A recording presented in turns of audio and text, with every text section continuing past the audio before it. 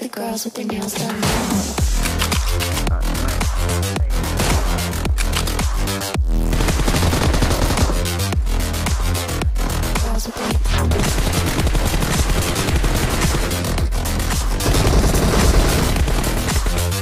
girls with their nails done.